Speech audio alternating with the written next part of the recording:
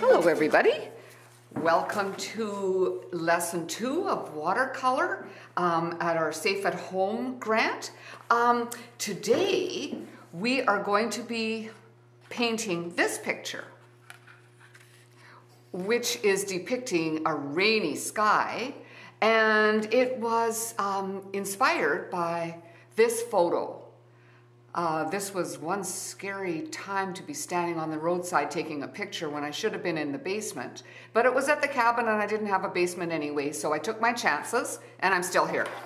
So what we're going to need for this class is we're going to need a little bit heavier paper if you have something that is uh, 140 pound. If you're using the paper that is provided in your kit, that's great. I did try it on that paper and it did work, but it just doesn't take the water quite as well. And you might find more buckling. And you also have 10 sheets of paper in there. So if you find that it failed the first time, try it again because it'll eventually work for you. And a little bit of practice doesn't do any harm. The colors that we're going to be using are the same three colors we used last time. We're going to be using yellow ochre, Prussian blue, and burnt sienna. So those are the three colors.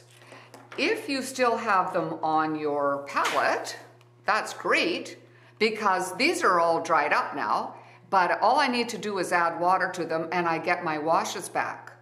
So it's great. Never, never wash your palette because, especially if you're kind of cheap like I am. Save money where you can. So that's what we'll need. We're going to need all three sizes of brushes. We're also going to need our pencil and eraser. Don't forget it's really important to have a piece of paper that you can use for trying your colors, testing them. And I have my yogurt lids, which I saved from last time because it's the same colors. So all I need to do is add water to those as well, and I've got my washes back. So the first thing we're going to do, oh, and don't forget to tape it down on all four sides. And one other thing I didn't mention, your kit includes a sponge. So this is, it's quite a good size sponge, but you don't need this much. I, I prefer to use a smaller size of a sponge.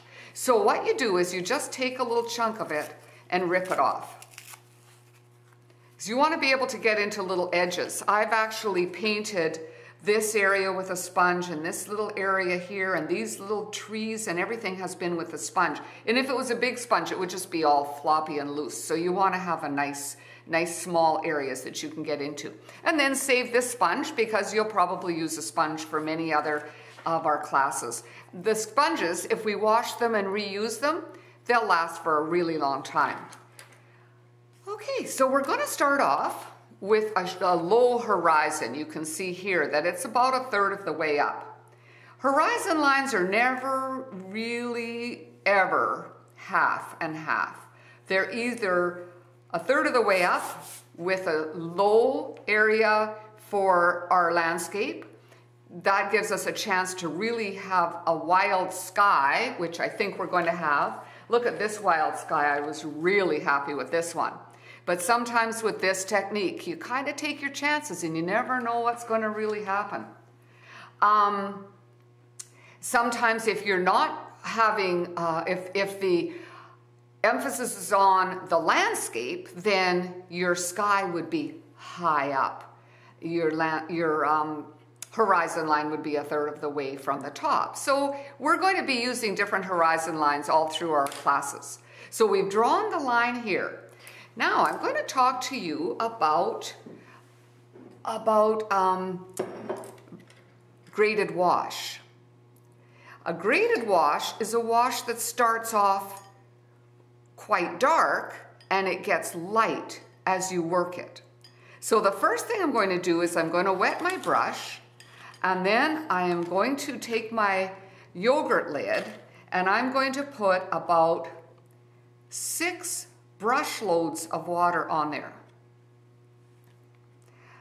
I'll mix it up with the the paint that was there before. Now that's very pale. And then I'm going to, I have to wet this. And I'm going to mix that with the water until I get the intensity that I'm hoping for. I really like working with paint that is already dried. It kind of gives you more control. You never get more paint on your brush than you really want. Some people prefer to use their paint out of the tubes when, it's still wet. And that's kind of a personal thing. You kind of develop that pre preference after you've painted for a little while and, and you find what you like the best. So now I'm going to test this on my test paper and see if it's strong enough. Um, I'm not really happy with how strong it is. I have to start off quite strong because each time I paint a line, I am going to make it a little bit weaker and I'll show you how. Now we're going to turn it upside down. Oh, just wait, wait. Don't do anything yet. We have to mix our cloud wash as well. Now, for the cloud, we're going to be putting on Prussian blue and burnt sienna. And I already had a nice little puddle of that before, so I'm gonna see how, how dark it is. Um, it needs a little bit more blue. That's why I like to have a test paper because it really helps you know what you need to add and what you need to do to change it. That was a little bit brownish. I really like to mix my grays rather than take it out of a tube because when you use the same color scheme throughout your whole picture, it adds unity to your, to your picture. Okay, now I've added some more blue to this. And I have to have a fair bit. That's why I'm using the yogurt lids because it allows you to have more paint. If we were just using this, we wouldn't have enough room to make a, a wash and to mix colors. Okay, let's try this and see. Oh, now it's too blue. So we add a bit more brown. It's a little bit trial and error. Let's see now. Okay.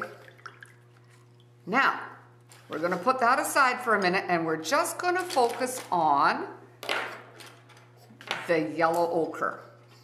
And I'm gonna show you how to do a graded wash. We're turning our page upside down so the horizon is, it looks like it's at the top, but this is actually going to be the ground. So we're going to be painting with our um, largest brush that we have. Usually I would use a larger brush for this, but this is what you have, and so we're going to use what you have. Um, and actually for the, for the paper that you're using, this does not really put a lot of extra water on your, on your paper, so you won't have as much buckling. This is actually going to be the ground. Now we're going to dip our brush in the water and dip it back into the paint and it's going to be a little bit weaker. You can see how it's a little bit weaker. Then we're going to dip in again and it's going to be weaker again. We're going to dip it in again and weaken it again. Dip it again. Each time you dip your brush into the water, you're making a weaker solution. Now I'm going to tip it a little bit because I want it to be running down. Then I'm going to dip it again. Eventually, I'll just have clear water on there with just so little pigment that you can't even tell it's there. If I kept it as yellow as it is, my cloud would end up being green, which is usually a real sign of a tornado coming. And then it'll be pretty much clear water. Now we have to be very quick when we do this. We're going to turn it upside down again And we're going to take that gray mixture that we mixed up and we're going to dab it on and we're going to let it run down. Can you see how it's running down? That's the rain coming down.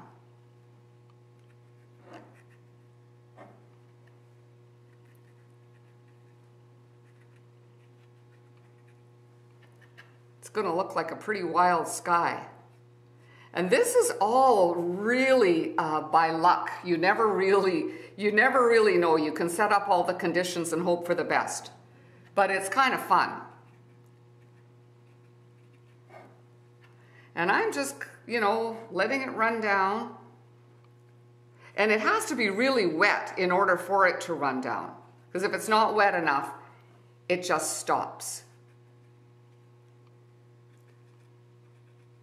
So there we go. We're just going to let it run for a minute. If we wanted it to run further, we could just wet here. And that makes it run further. But it also makes it run down our landform, which is okay because we're going to be covering up our landform. So that's a pretty wild looking sky. If you wanted to make the clouds up here a little bit um, more billowy, while it's still wet, you can do that.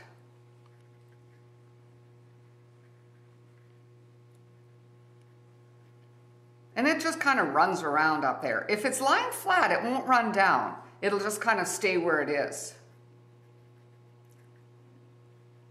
I'd find just use a little bit of a dabbing brush stroke. You don't want to be heavy-handed at all with this.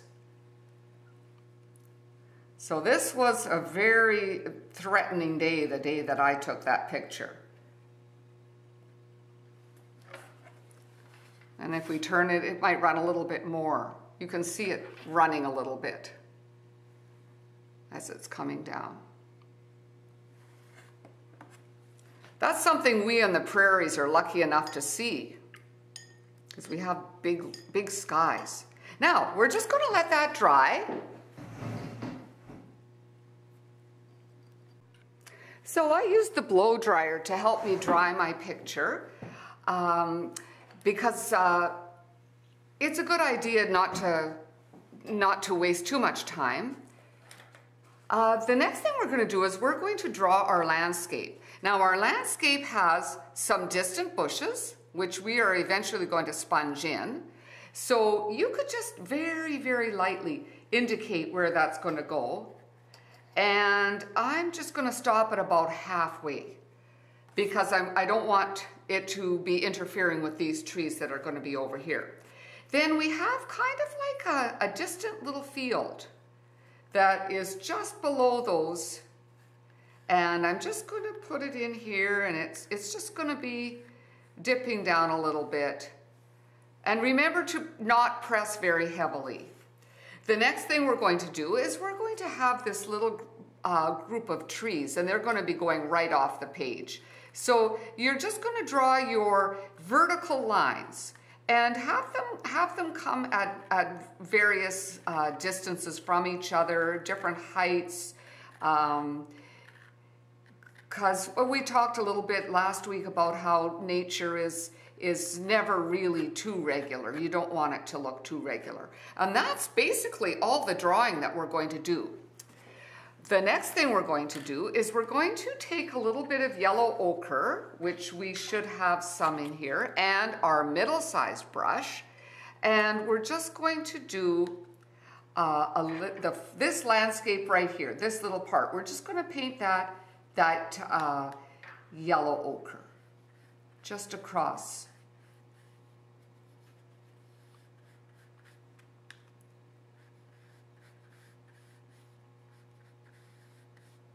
Already I'm seeing a, a nice landscape taking form. I kind of like what happened to the sky too. I'm not unhappy with the sky. If I'm unhappy, you'll know it because I'll complain and bellyache and you'll want to turn your computers off and everything. Okay, so while that's drying, we're going to mix up um, another wash of yellow ochre. So I'm just going to move that out of the way and hope you can all see this. We're going to be using our sponges next. And so when you're using the sponge, the sponge is very, very thirsty and it's gonna wanna suck up all the paint you have. So you wanna make sure you have enough to get you through. Now this yellow ochre is going to be not as strong as, uh, as if it was right out of the tube, but it's going to be a decent strength.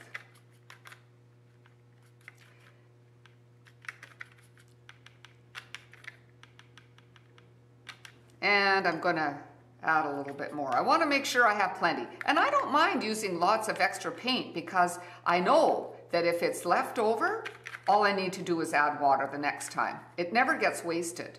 The only time it ever gets wasted is if you wash it. Some people like to wash things in between and you know, that's okay too, but you don't like to waste it. Okay, so the next thing we're going to do is I'm going to show you how to, how to use that sponge. The sponge starts off being very dry and stiff. So you get a piece of paper towel, hold that in one hand, take your sponge and dip it in your water and squeeze it till it's, till it's totally saturated and then it will start to soften up. Squeeze out the excess water and then put it in your paper towel and scrunch it up because you don't want it to be soaking wet. Basically what we're doing is softening it. Now it's nice and soft and easy to work with. So now we have drawn our vertical lines here and what we're going to do is we're going to dip our sponge into the paint that we've just uh, mixed and we're just going to dab it. And you can see how I'm dabbing it along the verticals from the bottom to the top. This dabbing, if we're very light and don't press too hard, gives you a texture that's kind of leaf-like. And that's what we're trying to do, is we're trying to make something that is the texture of leaves. I'm pressing very, very lightly. If you press hard, then it fills in all those little spaces and it no longer looks like leaves.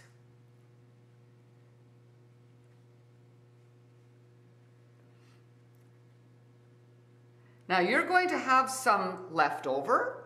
So what you're going to do is, you know that section that you painted plain yellow? Leave it alone, but then take your sponge and just boing along boinga, boinga, boinga, along on your nearby stuff. This is your foreground, and you're just going to bounce it along and fill in that area, leaving lots of the lighter yellow that you, that you put on at the beginning.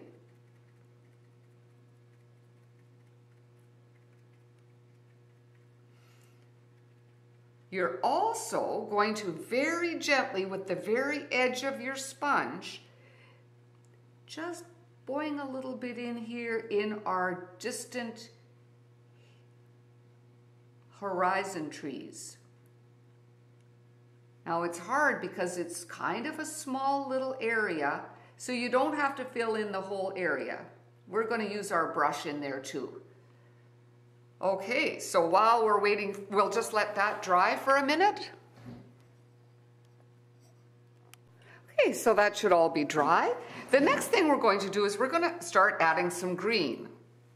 So we've got our yellow in the distance, and so we're going to take our middle-sized brush, and we've got a little bit of wash here of, of yellow ochre.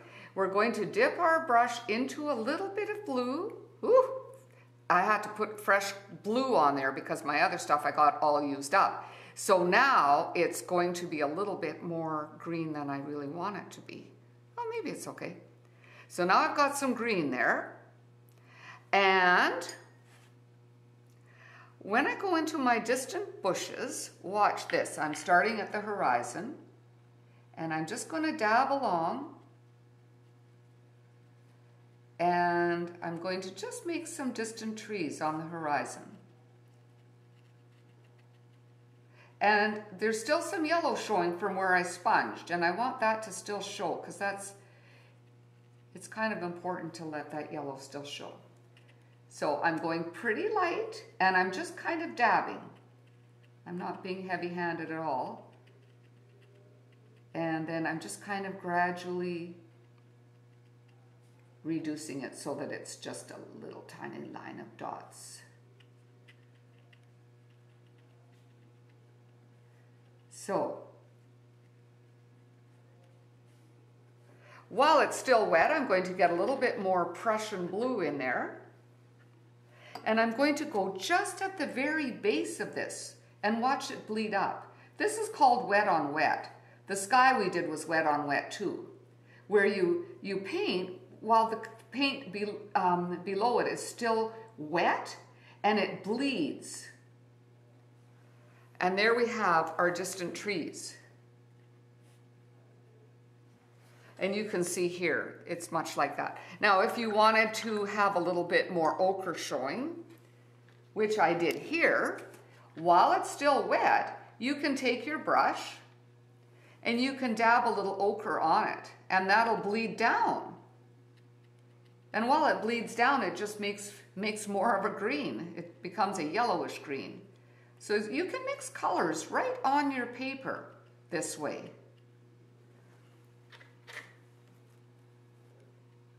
It's fun to, it's fun to paint wet on wet, but you have to be really careful because it can so get away on you.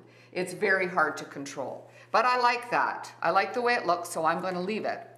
And while I'm leaving that to dry, I'm going to work on a different spot in my picture. I'm not going to wash my sponge, and I'm going to dip it into the green that was made by adding the Prussian blue to the um, yellow ochre. I've dipped my sponge in, and now I'm going to I'm going to kind of sponge in the area just very lightly, making sure that the yellow is still showing working my way up the branches of the vertical lines that we drew earlier.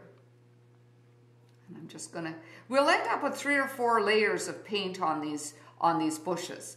They don't really start to take shape and look like bushes until you've had about three or four different layers of sponging. And then we use our brushes. So there's a lot more work that goes into this than you would think. So um, that's the lightest green that we're going to use. So I'm just going to leave that like so. And then I've still got paint on my brush. Notice this little area right here in the foreground. This little area sort of stays yellow. So I'm going to start sponging in my foreground, just leaving that yellow area. Um, I should show you the photograph. That'll help you see what I mean. See, there's this yellow area here, and then it starts to be green. And then there's this yellow, this distant yellow field that we also painted and left.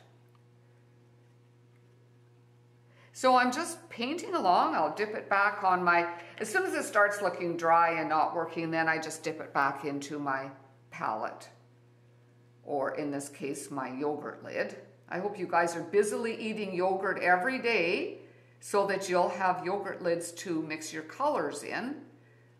That we have to sometimes make sacrifices in the name of art. And sometimes good health is a benefit that never suspect will ever happen, but it does. So that's that. We're going to let that dry for a few minutes. Well, that should be dry now. Now we'll mix a little bit more Prussian blue in there to make a darker green. You could even add just a little dab of burnt sienna and that will make it so it's a little bit more of a brownish green. You see how I've mixed that in there? And maybe a little bit more blue. It looks like we're making the dog's breakfast, but actually, if you use the same three colors that we've used in the rest of the landscape, it will always go well. So then we're going to take our sponge again, our sponge that we haven't washed. We're not going to wash it until the end of the class. And we're going to dip it in that shade of green that's a little bit darker and we're going to start boinging it onto the trees again. And you can see, now try to make sure that it's darker at the bottom and stays a little bit lacier towards the top. So you can see it's starting to take shape now. Remember to keep your touch very, very light because we want the yellow and the lighter green to show as well.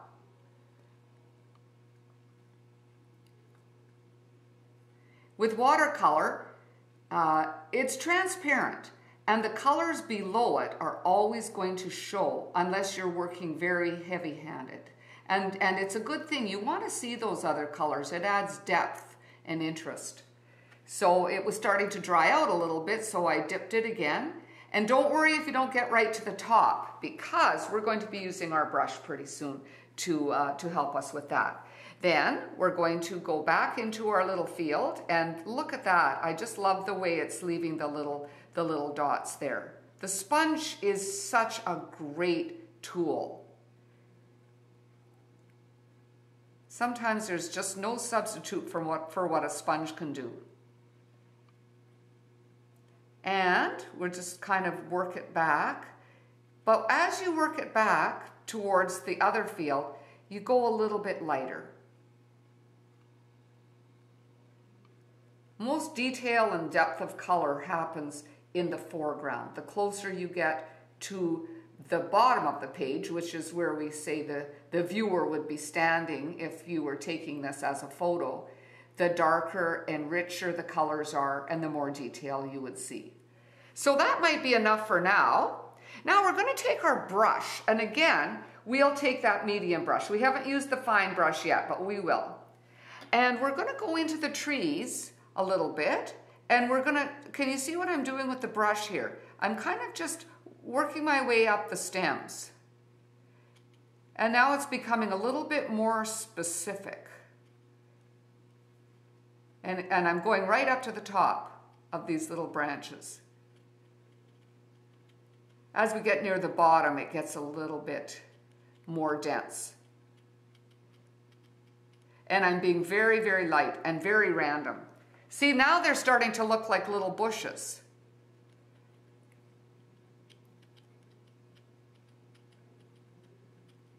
So I'll just pause that and let you work away at that. Remember when you are dotting paint anywhere, especially when you're making leaves and foliage, make sure that you don't get really regular. Make sure that it's really random, and I, I can't emphasize that enough that we don't want it to look, uh, you know, really, really regular. We want it to, to look like leaves really grow. They never look really, really um, regular. I'm also dotting with my brush in the foreground here, just to, uh, you know, to, to put more leaves a little bit closer up. I don't know what kind of a crop this is. And I guess we don't have to know. Now, now get a little bit more Prussian blue so that your green is, is quite a bit darker. And then we are going to put a bluish green at the base of Oh, I added some brown too. And we're going to put that at the base of the bushes because that's going to be kind of uh, a, a shadow. See how it's a little bit darker here? Just at the, just here and there, so that it's like the leaves are casting shadows on the bottom of the tree. And of course, underneath the trees, there's going to be an area that's very dark. So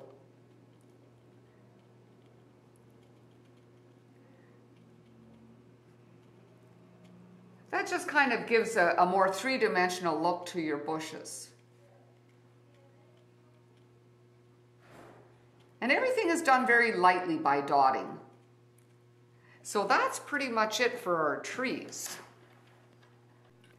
Along the top edge of this, of this area, I have just put a little bit of green, just very, very faintly um, with our brush. And so if it's too dark, just add a little water and we're just gonna kind of dot it in there. So I guess it's maybe just another kind of little something that's growing there. It's hard to tell from the photograph. But, and, it, and of course we're, we're not being very regular. It's just, it's just to indicate that that's, that's the end of this little area. So we'll just, it's very faint. We hardly even know it's there. And we'll just let that dry. When that's dry, you'll notice that there's a little spot here where there's some little branches sticking out that must be dead stuff. See in the photograph, it's hard for you to see.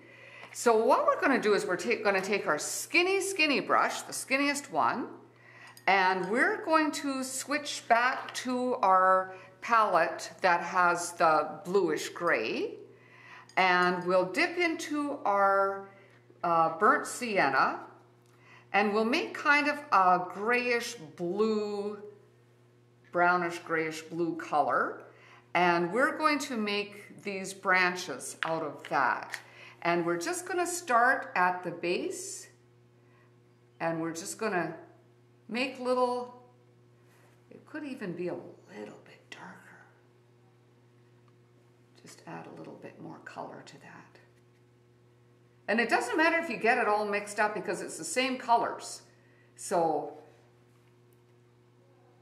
there. And I'm just going to make, it's, it's sort of like just a, maybe it's a dead hedge or something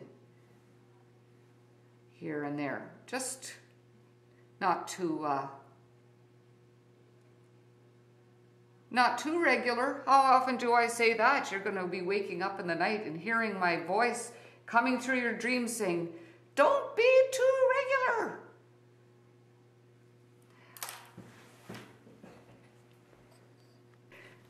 So the final step is everybody's favorite step. Guess what? Spattering. So you're going to use your green again and you're just going to, do you have a brush that is kind of bristly like this? It's not a watercolor brush that was sent with, uh, with the kit.